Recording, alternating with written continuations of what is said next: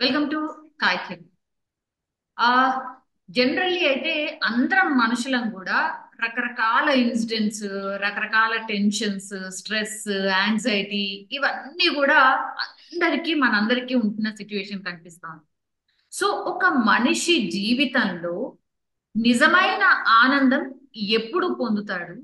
దాంట్లో మన మనసు రోల్ ఎంత వరకు ఉంటుంది? ఇదే మన టాపిక్. ఇది జనరలైజ్ టాపిక్. నిజంగా అందరికీ కనెక్ట్ అయ్యే టాపిక్ కూడా. కొద్దిసేపు అయినా దీని గురించి మాట్లాడితే ఒక స్ట్రెస్ రిలీఫ్ లాగా అండ్ మనం ఏం చేయొచ్చు అని కూడా తెలిసే అవకాశం ఉంటుంది. మనతో పాటు జాయిన్ అవుతున్నారు retired district judge and supreme court న్యాయవాది Malyad garu sir as a advocate but still sir generalize టాపిక్ని మాట్లాడబోతున్నాం. బికాస్ మనం అందరం కూడా ఇవన్నీ ఫేస్ చేస్తూ ఉంటాం కాబట్టి మీ ఒపీనియన్ ఏంటి సార్ నిజంగానే నిజమైన ఆనందం పొందాలంటే మన మనసుకు ఉన్నటువంటి రోల్ ఏంటి సార్ చాలా ముఖ్యమైన విషయం. ఎందుకంటే ప్రతి వ్యక్తి కూడా ఆనందంగా ఉండాలనుకుంటాడు. తన చిరునామా కోసం వెతుకుతూ ఉంటాడు.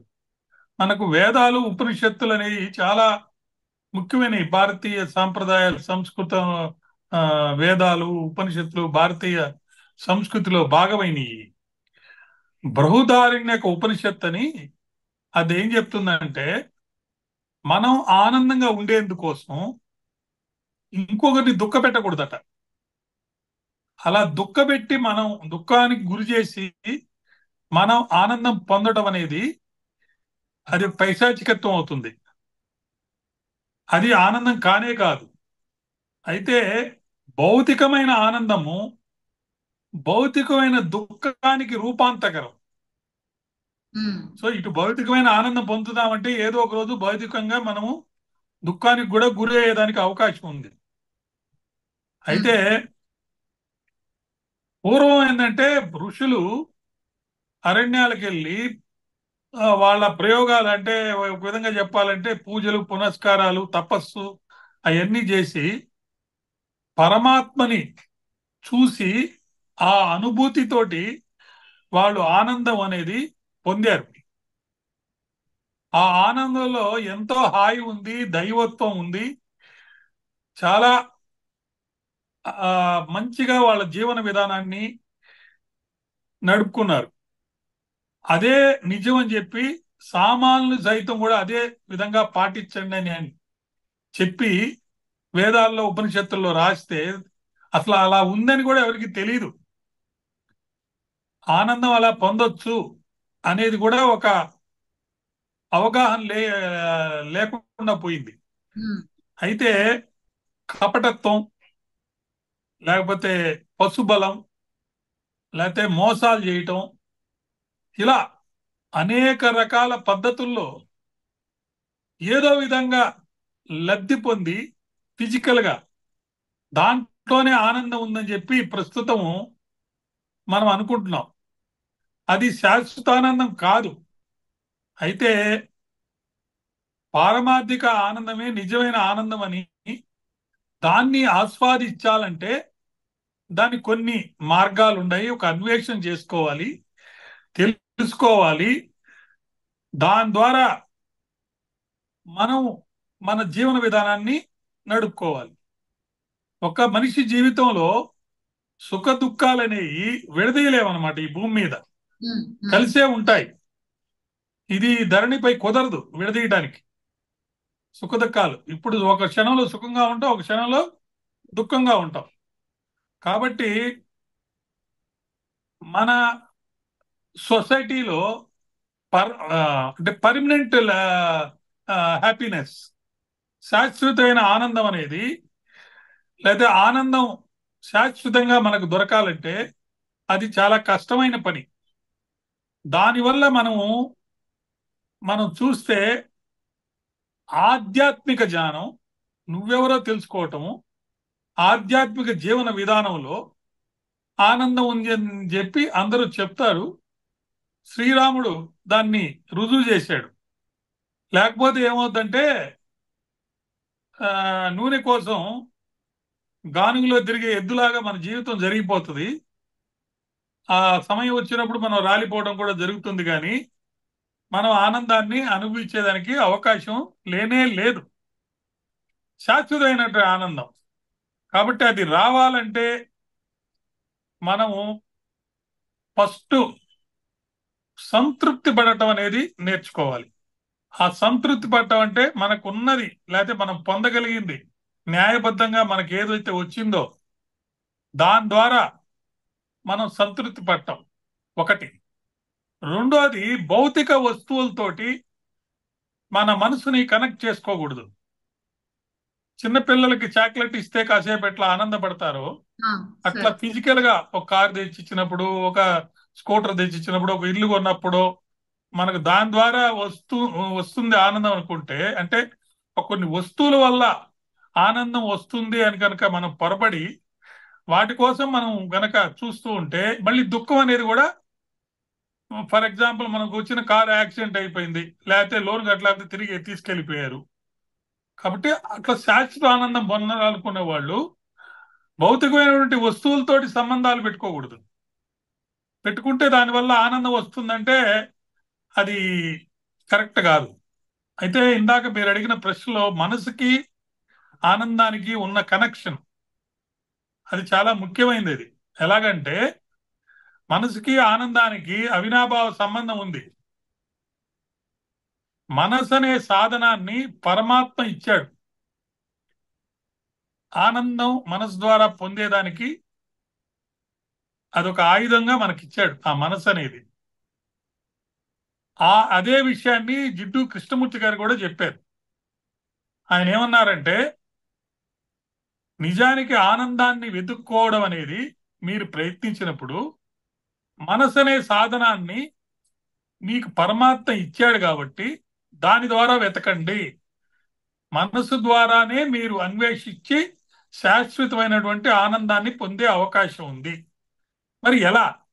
అందరికీ మనసు ఉంది అందరికీ ఆనందం కావాలి కానీ పొందలేకపోతున్నారు.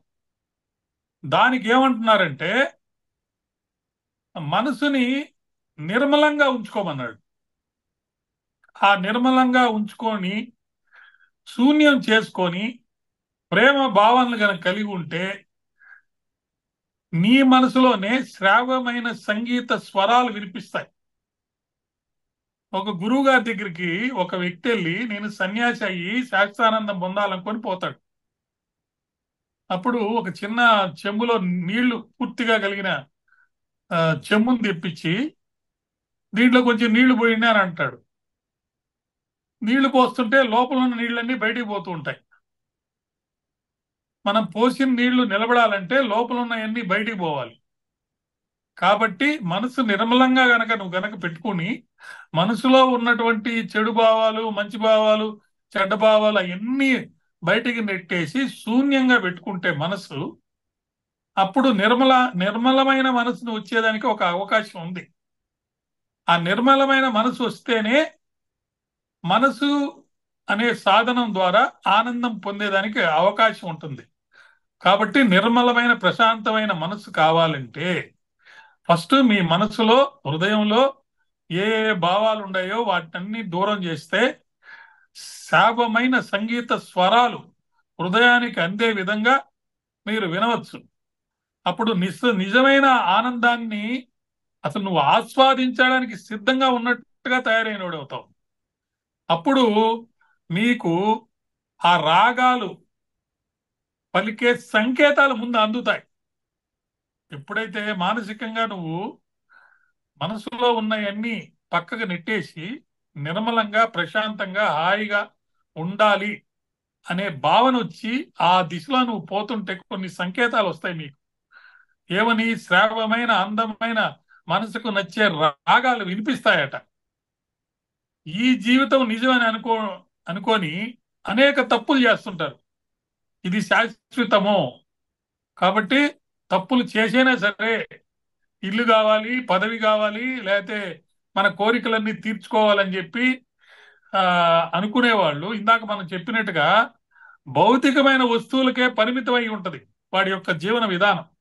దాని నుంచి దూరం చేసుకొని మనుషుల కంటే ఎక్కువగా భౌతికమైన వాటినే ఇష్టపడుతున్నారు. జనరల్ అయిపోయింది సార్. ఎస్ సార్ నిజమైన శాశ్వతమైన ఆనందం కావాలంటే మనసు ద్వారా మనసు నిర్మలంగా పెట్టుకొని తర్వాత తర్వాత ఏం చేయాలి అనేది చెప్దాం. ముందు మనసు నిర్మలంగా ప్రశాంతంగా ఉంచుకోవాలి. అలా నువ్వు మనసు నిర్మలంగా ప్రశాంతంగా ఉన్నప్పుడు శూన్యంగా ఉన్నప్పుడు కొన్ని మంచి శ్రావమైన రాగేద రాగాలకి ఆలపించే పరిస్థితి సంకేతాలు నీకు అందినప్పుడు రాబోయే ఆనందాన్ని మనం నిర్వర్తించలేము నిర్వరి అంటే నిర్వచనం లేదు దానికి. చెప్పలేమన్నమాట. వర్ణించడానికి కూడా అది భూమి మీద అయితే లభ్యం కాదు కాదు దాని కోసం వెతకాలి ప్రయత్నం చేయాలి మన మనసుని సమాయత్తం చేసుకొని మన మనసుని దానికోసం ఆ ఆనందం నేను శాశ్వతంగా పొందాలని అదే పరమావధి అనుకొని దానికోసం ప్రయత్నించే దృష్టితో నువ్వు ముందల ప్రయత్నం అనేది చేయాలి.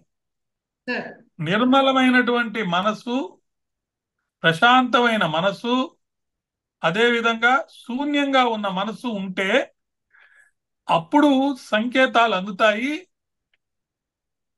మంచి ఆనందం వచ్చేదానికి ఆహ్వానాలు అందుతాయి. అయితే మనిషిలో పై కనిపించే ఆకారం ఒకటైతే ఈ మనసు అనేది ఎవరికి కనిపించదు.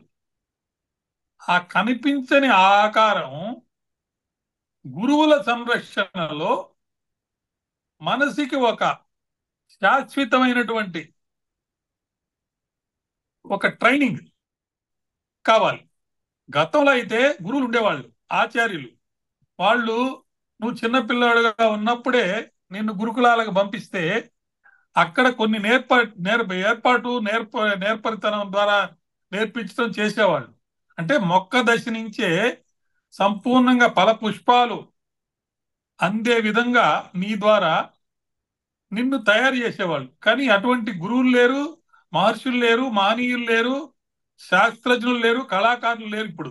మనకున్నటువంటి నేర చరిత్ర కలిగినటువంటి నాయకులు విశ్వవిఖ్యాత గాంచినటువంటి సైంధవులు ఇప్పుడు ఉన్నారు అందువల్ల ఇప్పుడు ఈ ప్రయత్నం గట్టి ప్రయత్నం అయితే తప్ప అంటే గురువుల యొక్క క్రమశిక్షణతో కూడినటువంటి చదువు విద్యా విధానం మనకు లేదు కాబట్టి నువ్వే ముందు నీ వ్యక్తిత్వాన్ని ఏర్పాటు చేసుకోవాలి. అంటే నీ క్యారెక్టర్ని డెవలప్ చేసుకోవాలి. మంచి ద్వారానే నేను ఏదైనా సాధించగలితిని. నా యొక్క సాధన అనేది చూసి ప్రతి వాళ్ళు గర్వపడే విధంగా ఉండాలి అనే ఒక భావనతోటి మనసుతోటి పోరాడి జయించిన వాళ్ళు ఎవరు లేరు. మనసుకి నచ్చ చెప్పుకొని ఇది తప్పు ఇది ఒప్పని తెలుసుకొని ఆ శ్రావమైన రాగ్యాలు నీకు అందేటప్పుడు నీ మనసుకి ఇచ్చిన ట్రైనింగ్ ద్వారా నువ్వే ముందుకు తీసుకొని వెళ్ళాలి. అప్పుడు మనిషి నిక్కార్సైన వ్యక్తిత్వంతో నిప్పులా బతకటానికి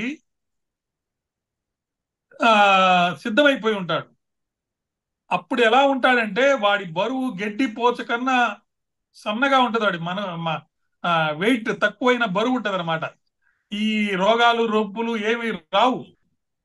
అలాంటి పరిస్థితుల్లో మనము ముఖ్యంగా మనసులో పెట్టుకోవాల్సింది ఏంటంటే ప్రకృతి ఒక మహనీయుడు ప్రకృతి ఒక శాస్త్రజ్ఞుడు ప్రకృతి ఒక కళాకారుడు ప్రకృతితో అనుసంధానం అయ్యి ప్రకృతినే గురువుగా తీసుకొని ఒక గురువు గారు లేకపోతే ఒక డాక్టర్గా తీసుకోండి. డాక్టర్ దగ్గరికి వెళ్ళినప్పుడు టెస్టులు చేస్తాడు. టెస్టులు చేస్తే ఏమొస్తుంది? ఫిజికల్గా కొన్ని రిపోర్ట్లు వస్తాయి. నీ బ్లడ్ ఇంత అది ఇదని అని. దానికంటే డాక్టర్ నీతో మాట్లాడి ఆయన మాటలతో నీవు చెప్పే సమాధానాలతో కొన్ని అంచనాలు వేసుకొని అప్పుడు మీకు మందిస్తాడు. అంటే శారీరకంగా మానసికంగా రెండిటి కలిపి మందిచ్చేవాడే నిజమైన డాక్టర్. ఇప్పుడు మనకు మహనీయులు శాస్త్రజ్ఞులు కళాకారులు మంచి మంచి నాయకులు లేరు కాబట్టి ప్రకృతిని చూస్తే మనకు చాలా విషయాలు తెలుస్తాయి. ఏంటంటే ప్రకృతే గురువు అనుకోండి. ప్రకృతిలో వచ్చే పళ్ళు ఫలాలు ఇవన్నీ కూడా ఎవరి దగ్గర నుంచి ఏమీ ఆశించకుండా నిస్వార్థంగా సేవ చేస్తాయి. కాబట్టి నువ్వు కూడా నీ మనసుకి ట్రైనింగ్ ఇచ్చేటప్పుడు నిర్మలంగా ఎలా ఉన్నా ఉండాలనుకుంటావో నిస్వార్థంగా కూడా ఉండాలి. త్యాగ నీతితో ఉండాలి. ఇతరులకి సహాయం చేస్తూ నీ జీవన విధానాన్ని కనుక కలిపి ఏర్పరచుకుంటే తప్పుదారి పట్టించే మనసు కూడా ఒప్పుదారిలో నేను తీసుకెళ్తుంది. ఆ ఒప్పుదారిలో నువ్వు వెళ్ళేదానికి అవకాశం ఇస్తుంది. లేకపోతే ఏమవుతుంది? నీ మనసు చెప్పినట్టు వింటూ పోతే కొన్నిసార్లు కళ్ళకి పాము కూడా తాడులాగా కనిపిస్తుంది తాడు కూడా పాములాగా కనిపిస్తుంది.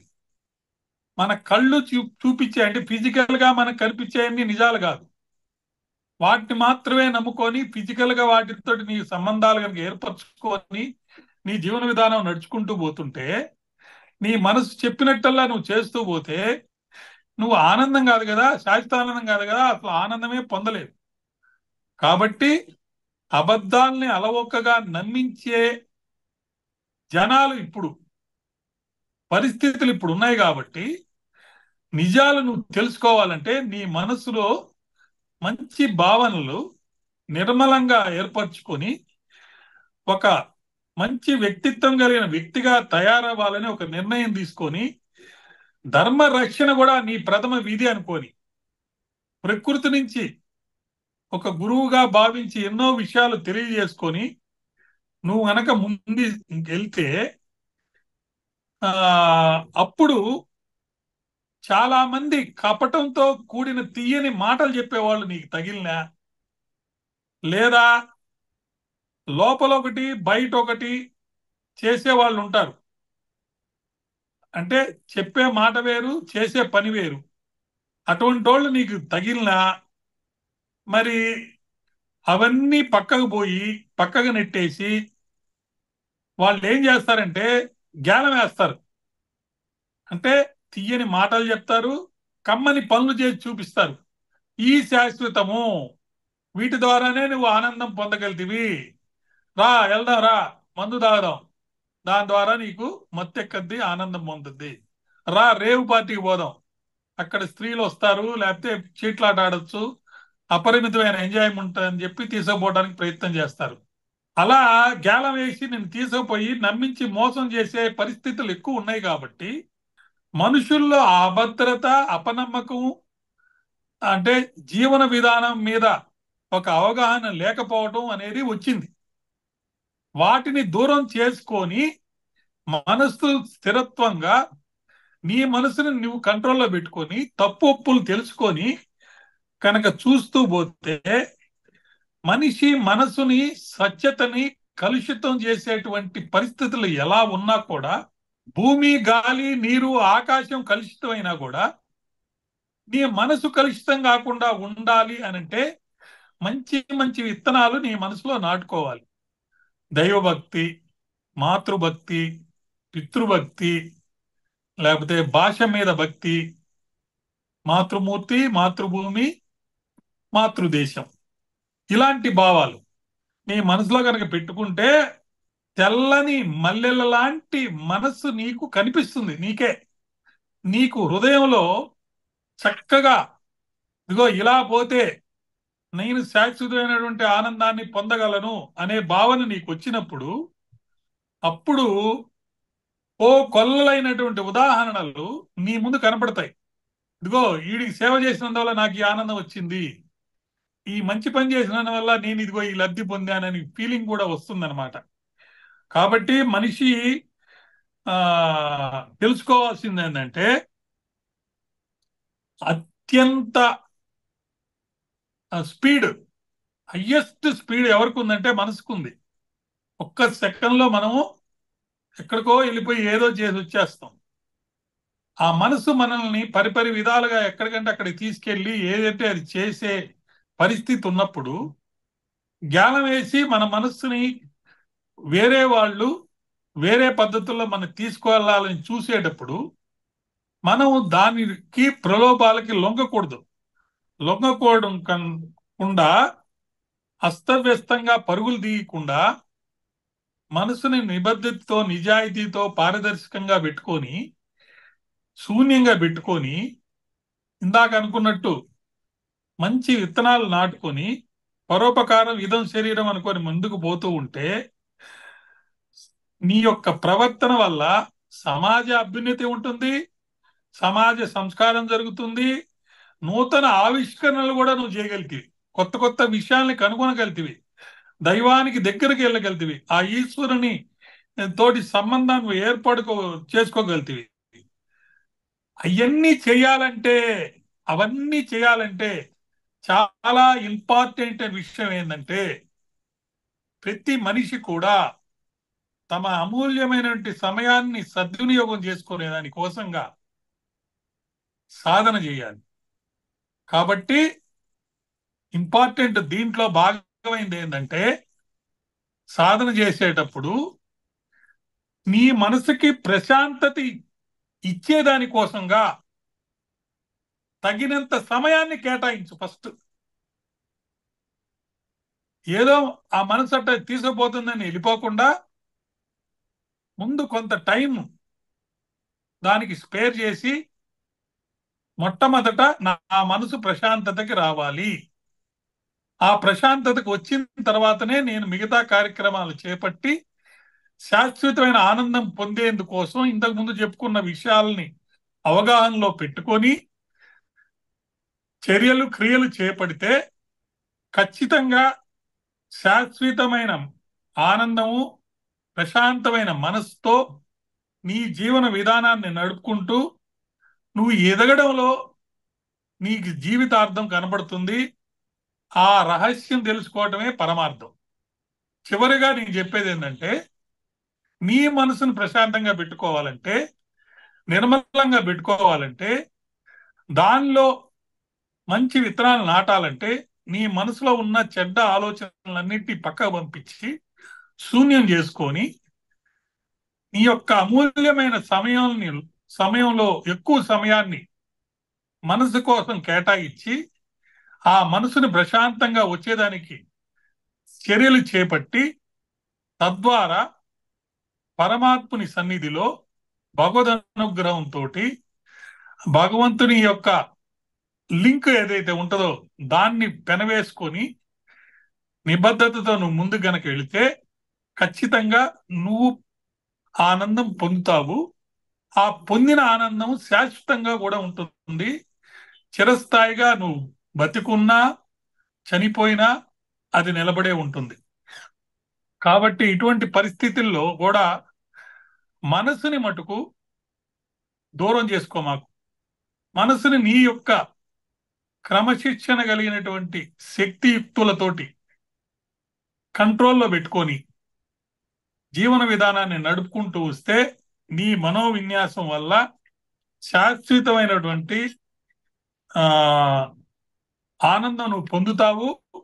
కాబట్టి ప్రతి వ్యక్తి కూడా తన మనసుని ఒక స్నేహితుడిలాగా చూసుకొని శత్రువులాగా కాకుండా ప్రశాంతంగా హాయిగా చక్కగా మంచిగా కొంత అమూల్యమైన సమయాన్ని కేటాయించి తన మనోవిన్యాసంలో మానవ జీవన విధానంలో మార్పులు తెచ్చుకొని ఆనందానికి చిరునామాగా ఉంటాడని ఆశిస్తూ ఇంత చక్కటి విషయాన్ని చర్చించే అవకాశం ఇచ్చిన మీ యాజమాన్యానికి కూడా ప్రత్యేక కృతజ్ఞతలు తెలియజేస్తున్నాను. ప్రజలందరూ దీన్ని గుర్తెరిగి ఎక్కువ మంది ఎటువంటి ఇబ్బందులకి అనారోగ్యానికి గురి కాకుండా హాయిగా జీవన విధానాన్ని గడుపుతారని ఆశిస్తున్నాను. ధన్యవాదాలు. నమస్తే.